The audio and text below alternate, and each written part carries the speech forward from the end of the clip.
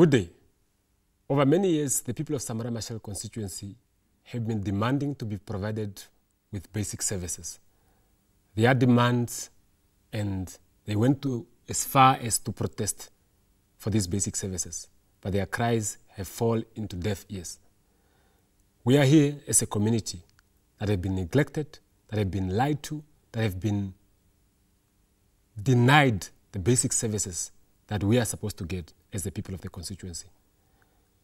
I stand here today as a resident of the community, the Samora Machel constituency, and I was directly nominated by you, the resident of Samora Machel constituency, to participate in this election. And not only to participate, but to win so that we get it right in our constituency. We've been neglected. When we demanded for these services, they, they've never listened to us. Why? It's because they have never been part of us and they don't understand what we go through. And that's why you nominated me because I have been part of the community and I know and understand what we go through each and every day.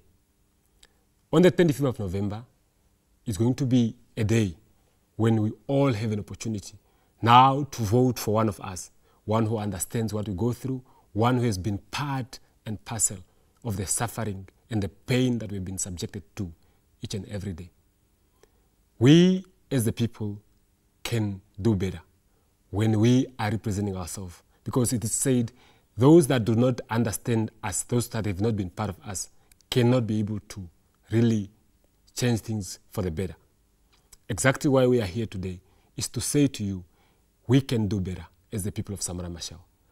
And I'm standing here to tell you to go out on the 25th of November, regardless of your political party or your political affiliation, to come out and vote for Eliphas Helao, an independent candidate of the Samora Machel constituency, directed, nominated by you as the people of Samora Machel.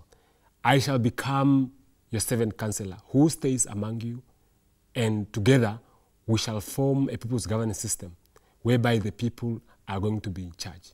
We are going to be the one in charge of the affairs of our constituency. On the 25th of November, at number six on the ballot for Samora Machel constituency is Eliphas Helao Nghitomoka. So vote for me to become your seventh councillor, and together we shall move forward our community.